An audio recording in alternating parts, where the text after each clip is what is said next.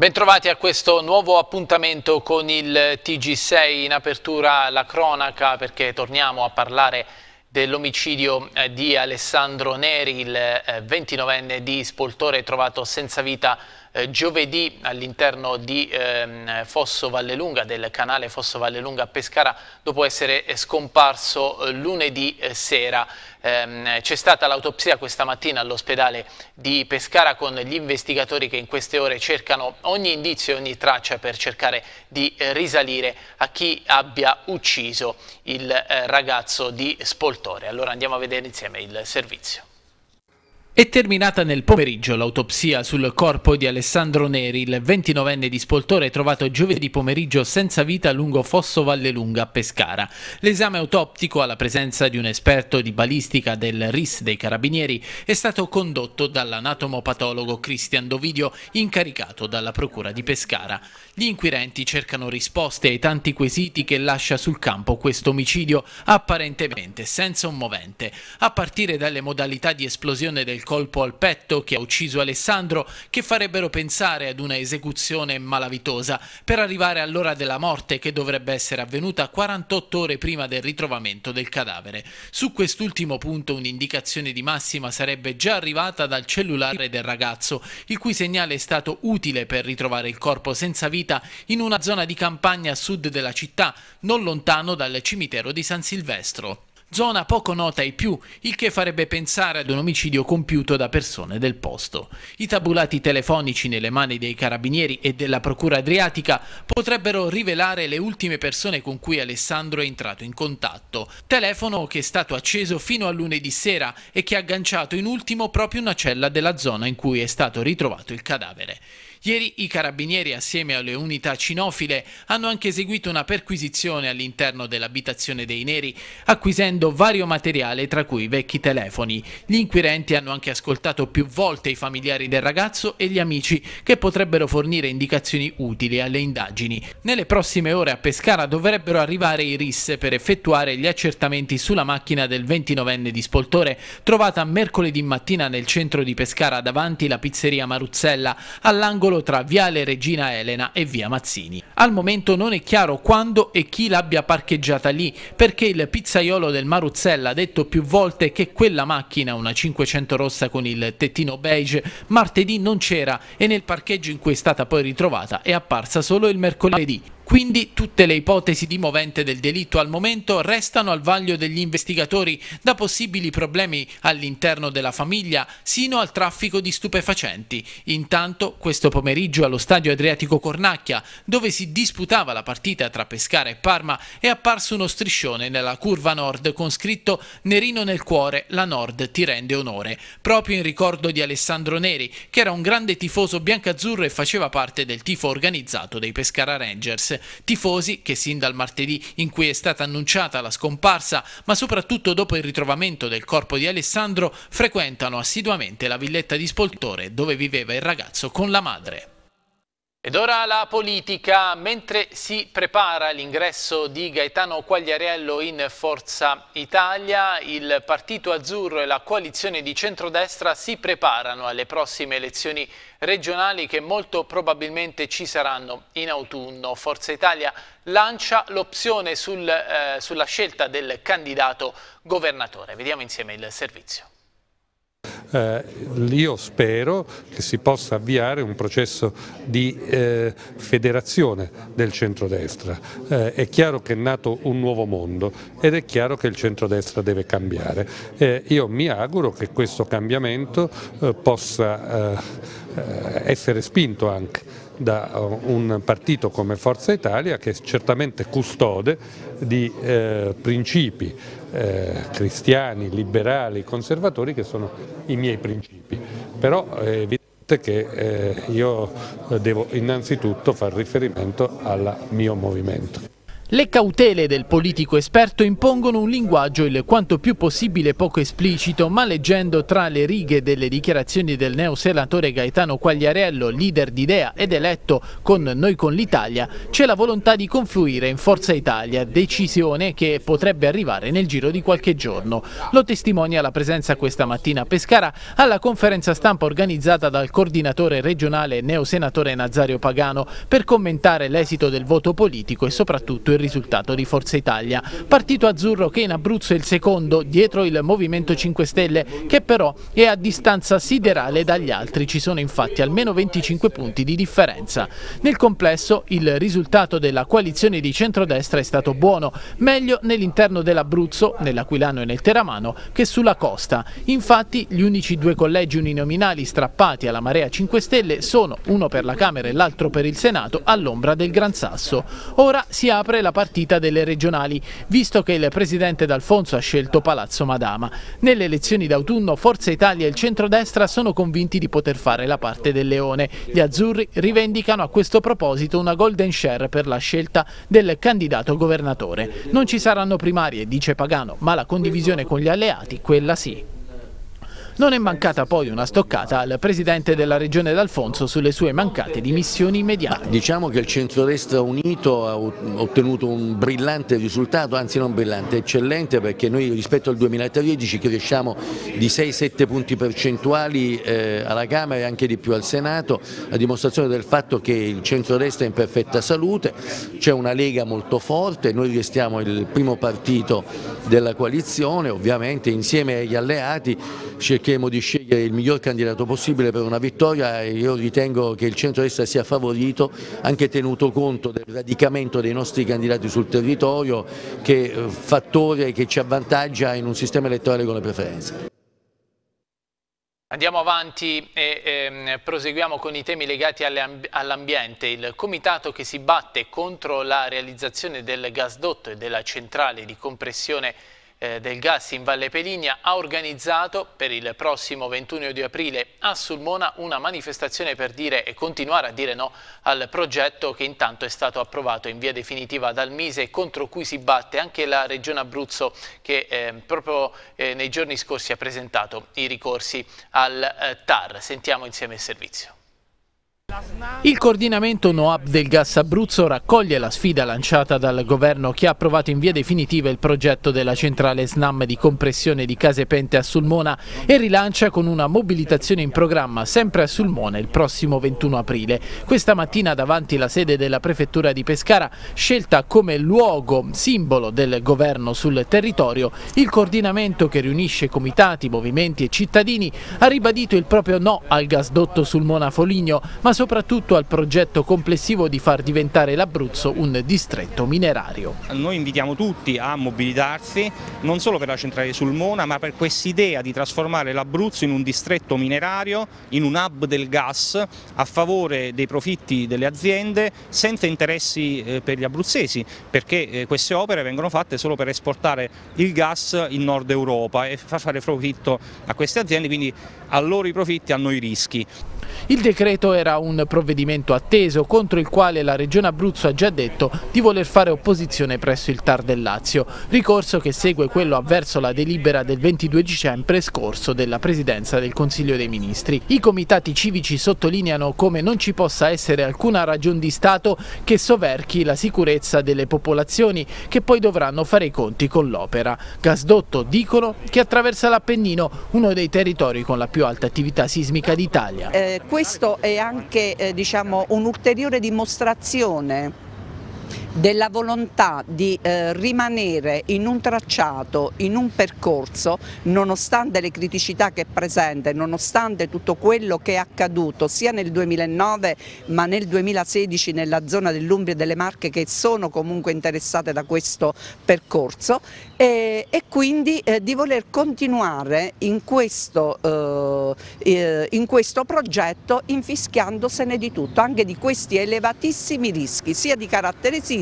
sia di carattere sanitario che di carattere ambientale. Adesso invece ci spostiamo a Lanciano dove si accende il dibattito sull'ipotesi avanzata dal sindaco Mario Pupillo di spostare il monumento ai caduti da piazza Plebiscito a Viale delle Rimembranze. Sentiamo. L'ipotesi non è recente, fu prospettata anche dal pool di architetti capeggiato dal professor Carpenzano della Sapienza di Roma durante la fase progettuale per la riqualificazione di Corso Trento e Trieste. Il monumento ai caduti di piazza Plebiscito a Lanciano andrebbe spostato altrove. È il sindaco Mario Pupillo a ricordarlo nell'intervista. Nel 1904, nello stesso posto, c'era una fontana a testimoniare l'arrivo in città dell'acquedotto pubblico e magari potrebbe essere di nuovo l'acqua, perché no, a fare da elemento di congiunzione stavolta tra l'espansione novecentesca della città e il centro storico. Una prima ipotesi di ricollocamento del monumento costruito nel 1926 è in Viale delle Rimembranze. L'equipe del professor Carpenzano, che ha curato appunto la progettazione, faceva notare come il eh, monumento ai caduti poteva essere collocato in una posizione eh, migliore rispetto all'attuale. Eh, perché in piazza per esempio si sviluppano tante manifestazioni che vanno spesso a coprire o a disturbare quest'area che dovrebbe essere un'area di riflessione, un'area eh, così, di un pensiero ai nostri caduti. E allora come abbiamo fatto per i, i martiri lancianesi noi potremmo collocare il monumento ai caduti. E il sindaco Mario Pupillo a ricordarlo nell'intervista rilasciata al TG Max. In uno spazio che confina quindi con Viale Rimembranze che appunto ricorda quell'epoca e, e quindi ricucire anche come effetto collaterale positivo, ricucire il centro storico con questa gradinata che prenderebbe il posto del, del monumento con la città novecentesca e di lì continuare con il corso che entra dentro l'ippodromo Villa delle Rose e va verso il polo museale, cioè la Biblioteca Liberatore, il polo museale Santo Spirito, lì c'è anche eh, il Palazzo Torriero che noi vorremmo destinare a uno spazio culturale e quindi tutto questo riallaccia, ricuce la città e ridà a questo monumento una posizione strategica e dove eh, effettivamente può eh, mostrare tutta la sua bellezza e quindi richiamare quello che sono stati i nostri martiri. Adesso ci spostiamo all'Aquila dove con il convegno Andrea Bafile e la Grande Guerra eh, in programma ieri pomeriggio eh, sono partite ufficialmente le celebrazioni per il centenario eh, della morte del tenente di vascello della Regia Marina morto in combattimento a Cortellazzo di Esolo in provincia eh, di eh, Venezia. Eh, domani intanto alle ore 9 ci saranno delle celebrazioni anche a Guardiagrele dove all'interno del sacrario che conserva le spoglie di Bafile sarà scoperta una epigrafe. Vediamo insieme il servizio sul convegno di ieri all'Aquila. Germana Dorazio. Giovanni Scima è il presidente del Comitato per il Centenario di Andrea Bafile per le celebrazioni di questo grande uomo. Come si è arrivati alla realizzazione di tutti questi eventi? Grazie all'interessamento del Comitato ma più ancora grazie all'interessamento di molti, molte persone che sono intorno a Monticchio. È nata dal, dalla volontà di celebrare una persona che sentiamo molto nostra e che rispettiamo moltissimo. Abbiamo avuto donazioni che non aspettavamo nemmeno, che non abbiamo richiesto. Abbiamo avuto eh, alcuni eh, enti, no, più che enti, alcune associazioni che ci hanno proposto dei, dei, di fare delle cose insieme a noi o di fare delle cose nel nostro cartellone. Un, non ce lo spieghiamo nemmeno noi, è una cosa che, che è andata da sola diciamo. Qual è il valore sociale che ci riporta Andrea Bafile, il suo ricordo? Ma il valore sociale è quello di un grande personaggio, il grande personaggio che più che altro era altruista verso eh, i suoi soldati, infatti la sua medaglia d'oro fu conquistata proprio per salvare un suo uomo che era rimasto eh, per, mm, sperso nel canneto, lui da solo è tornato indietro e poi purtroppo albeggiando è stato scoperto da, dal nemico ed è stato ferito a morte.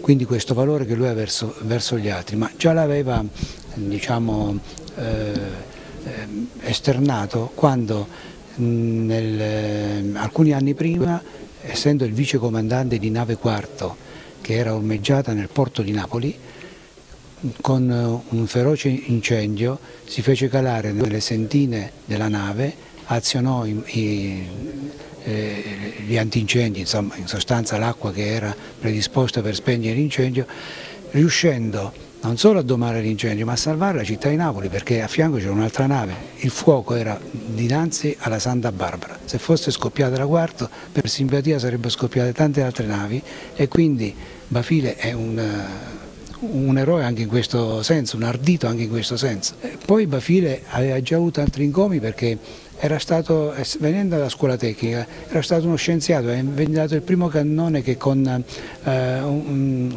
diciamo una catena riusciva a portare sopra i proiettili e sparare 60 colpi al minuto e la Marina Militare di allora, la Regia Marina, gli fece anche questo incomio particolare, quindi oltre a incomi, medaglia d'argento, medaglia medaglia di bronzo, eh, le aveva conquistate tutte ed è stato proprio un grande, un grande personaggio abruzzese.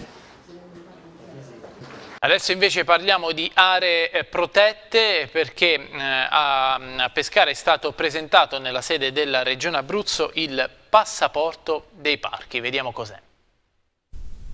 Calanchi di Atri, Cascate del Verde, Gole del Sagittario e Lago di Serranella sono le oasi del WWF che inaugurano il Passaporto delle Oasi, una iniziativa tesa a valorizzare nell'insieme le aree protette e l'economia rispettosa dell'ambiente. L'idea del passaporto delle oasi è stata lanciata dal WWF e raccolta dall'assessore ai parchi Donato Di Matteo. Ma questo è proprio uno nostre, eh, dei nostri impegni a inizio legislatura, è quella di costruire una rete tra tutte le riserve.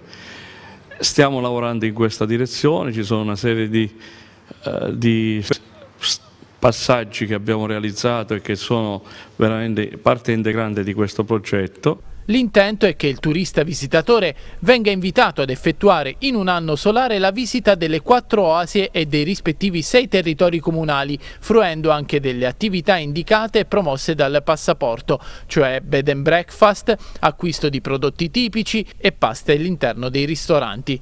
Una volta collezionati i timbri delle quattro oasi e di almeno quattro esercizi commerciali convenzionati, tornando in una delle oasi, al visitatore verranno donati dei gadget. È importante fare rete, sottolinea l'assessore Donato Di Matteo, che lancia anche il direttorio dei parchi che avrà il compito di coordinare le attività di promozione e di gestione delle aree protette abruzzesi.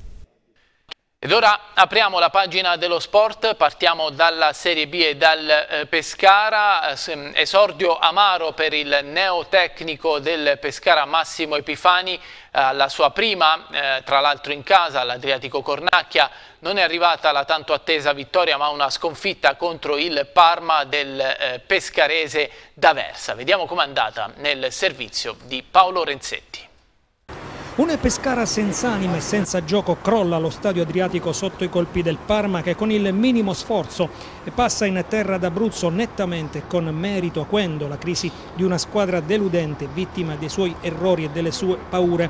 Esordio peggiore sulla panchina biancazzurra per Massimo Epifani alla prima come tecnico del Pescara e all'esordio assoluto su una panchina di B. Proprio non poteva esserci con la sua squadra letteralmente in balia degli emiliani e mai in partita. E fra tre giorni si tornerà però in campo sempre all'Adriatico con il Carpi per una sfida che si può già considerare decisiva. Il neo allenatore biancazzurro non stravolge il Delfino ma cambia modulo e passa al 4-2-3-1 e anche attori in campo restituendo a Brugman il ruolo naturale di regista. In difesa spazio a Crescenzi e Coda mentre in mediana con l'Uruguagio c'è Valzania, sulla tre quarti ritorna Yamga con Mancuso e Falco a supporto di Pettinari, unica punta di ruolo. Nel Parma d'Aversa conferma il 4-3-3 con in in attacco Insigne, Calaiò che lascerà il segno e Baraie. Si comincia nel ricordo di Davide Astori e con un minuto di raccoglimento in memoria del giocatore della Fiorentina che viene omaggiato dai giocatori delle due squadre con una maglia con dedica per il 31enne giocatore scomparso domenica scorsa.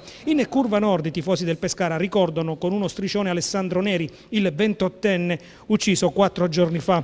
Agli ordini del signor Illuzzi di Molfetta si comincia in un pomeriggio tiepido e soleggiato di fronte ad 8.000 spettatori. Al settimo subito un brivido per gli ospiti con un tiro dalla distanza di Gaston Brugman che scheggia la traversa. La risposta degli emiliani è però micidiale con il gol di Calaiò che all'undicesimo su cross dalla sinistra di Baraie dopo una rimessa laterale mette alle spalle di Fiorillo per il vantaggio parmense. Il Pescara sembra in bambola e al ventunesimo è Dezzi a rendersi pericoloso sempre dalle parti del portiere bianco-azzurro che rischia di capitolare poi al ventiquattresimo quando Lucarelli sugli sviluppi di una punizione calciata da Dezzi colpisce di testa la traversa. Domina in campo la formazione ospite in questi frangenti, il Pescara appare pasticcione inconcludente. L'ultima parte del primo tempo vede un Delfino appena un po' più vivace ma mai capace seriamente di impensierire il portiere del Parma Frattali. Nella ripresa si riparte con gli stessi 22 di inizio partita e con il Parma all'attacco. I biancazzurri continuano a giocare male e a non attirare verso la porta ospite, così è gioco facile per la squadra del tecnico D'Aversa mantenere e conservare il vantaggio. Epifani al quarto d'ora manda in campo Bunino per Falco con il tecnico che schiera così la sua squadra con le due punte. Al sedicesimo però il Parma arriva ad un passo dal raddoppio con Insigne che dall'interno dell'area adriatica mette alto. Con il trascorrere dei minuti il canovaccio della partita non cambia di molto anche se al 24esimo Mancuso l'occasione per il pari prima del proseguimento dell'azione con il entrato Ceravolo che qualche istante dopo va a segnare nella più classica delle azioni di contropiede il gol del 2-0. Il giocatore parmense appare in netto fuori gioco ma il direttore di gara e il suo assistente convalidano il gol del 2-0 crolla il mondo addosso ai biancazzurri che poi al 27 subiscono la terza rete ad opera di Gagliolo che inizia così a far scorrere i titoli di coda della gara con diversi minuti di anticipo, partita che però ha un sussulto al 34 quando dopo una respinta di Frattali su Pettinari e Bunino a realizzare il gol del 3-1 che forse illude il Pescara per qualche attimo prima del gol di Scavone che al 38 mette la parola fine alla partita. Match che finisce davvero in malo modo per il Pescara e per Fiorillo e Soci fischiati dai tifosi e attesi in campo già martedì nella gara decisiva con il Carpi. Ma siamo entrati con paura, eh, non con tratta. Eh, ho già parlato con i ragazzi, gli ho detto che la responsabilità me la prendo io. Eh, perché in questo momento si sentivano carichi di responsabilità, magari col cambio di allenatore, eh, pensavano di, magari di, di, dover risolvere tutto loro, ma non è così. In questo momento è venuto fuori un aspetto mentale molto importante che bisogna lavorarci sopra. Eh, poi abbiamo preso, a parte il primo tempo abbiamo fatto malissimo, non male. Abbiamo preso un gol dove l'avevamo studiata e quindi abbiamo preso un gol che si poteva evitare poi nel secondo tempo siamo rientrati molto meglio, stavamo facendo meglio e abbiamo preso un gol in netto fuori gioco che ci ha ritagliato di nuovo le gambe ed è venuto fuori di nuovo la paura la, e lì la partita è finita. E mi dispiace di questo, ma più che altro per i tifosi, per la gente che è venuta oggi allo stadio, e, però l'aspetto principale in questo momento è quello di ritrovare innanzitutto la, la serenità mentale per cercare di fare risultato. Credo che se, se si analizza la partita per, sia per la mole di gioco che per le situazioni da gol create credo che, che il risultato sia giusto. Per quanto riguarda il centrocampo, sì, sicuramente avevamo struttura ma avevamo anche qualità perché Dezi e Munari oggi hanno fatto veramente sotto l'aspetto tecnico una grande partita. E Calaiò mh, lo dimostra il fatto che l'ho fatto giocare dall'inizio perché è un momento che sta, che sta bene, è un attaccante che è molto importante sia a livello realizzativo ma anche e soprattutto per quello che, che fa in fase difensiva. E di conseguenza quando tutta la squadra vede il proprio finalizzatore, il proprio centravanti applicarsi in quella maniera in fase difensiva di conseguenza trascina tutta la squadra. Dispiacere per il gol subito, però credo che la lettura della partita da parte dei ragazzi è stata, è stata perfetta, non era semplice perché nel momento in cui c'è il cambio dell'allenatore comunque una scossa all'interno dello spogliatoio c'è sempre. No? Abbiamo cercato di sfruttare le difficoltà di una squadra che magari viene da un periodo che non fa risultato e siamo stati bravi in questo. Ed ora scendiamo di eh, categoria, andiamo in Serie C per parlare del Teramo. Questo pomeriggio si è svolto l'allenamento di eh, rifinitura in vista della gara di domani sera al Bonolis contro il eh, Sant'Arcangelo per quello che sarà uno scontro diretto in chiave salvezza per i eh, biancorossi si tratterà di dare continuità alla vittoria inaspettata di eh, Padova, anche se nel 2018 il diavolo ha sempre perso tra le mura amiche. E noi a questo proposito, per vedere anche le ultimissime in vista della partita, andiamo allo stadio eh, Bonolis ed andiamo a vedere insieme la conferenza stampa tradizionale pregara del tecnico Palladini.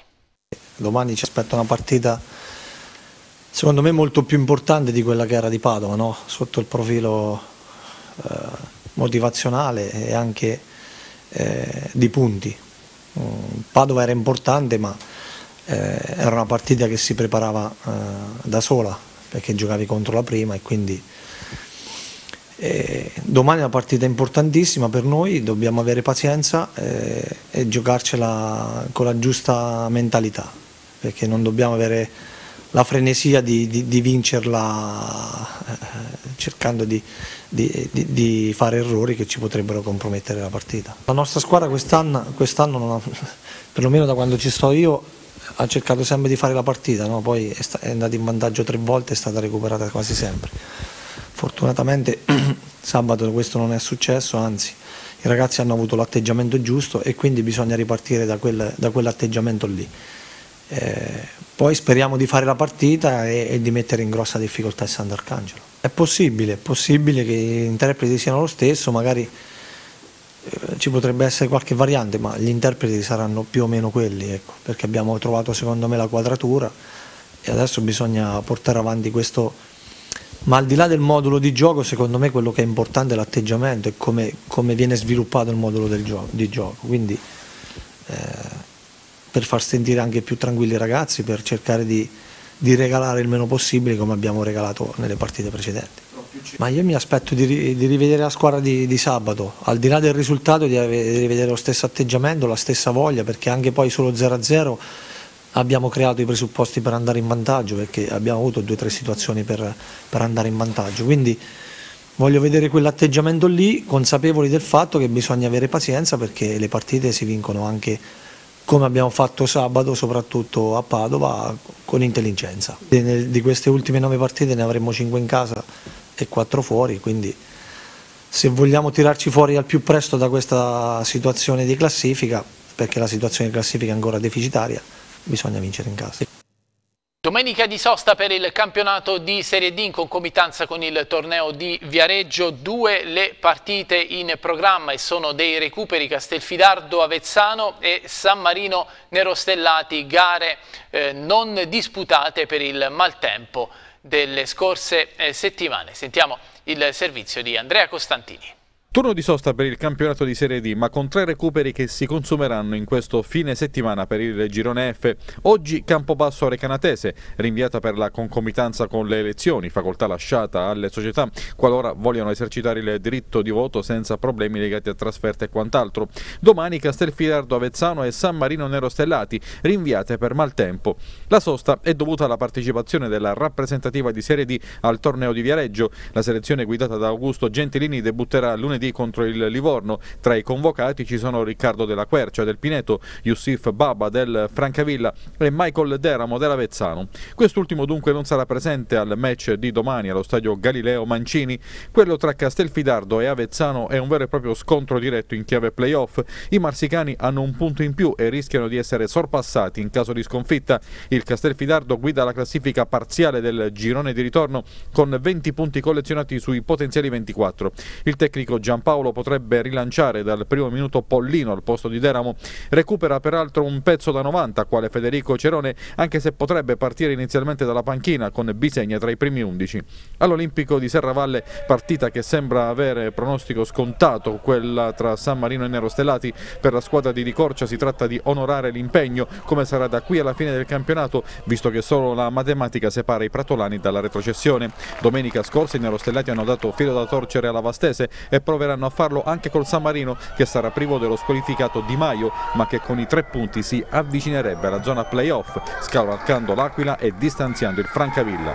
Dopo le tre partite di questo weekend resterà da recuperare una sola gara, quella tra Fabriano Cerreto e Pineto, data fissata il prossimo 21 marzo. È tutto anche per questa edizione del TG6, io vi ringrazio come sempre per essere stati eh, con noi e vi auguro un buon proseguimento con i nostri programmi. you.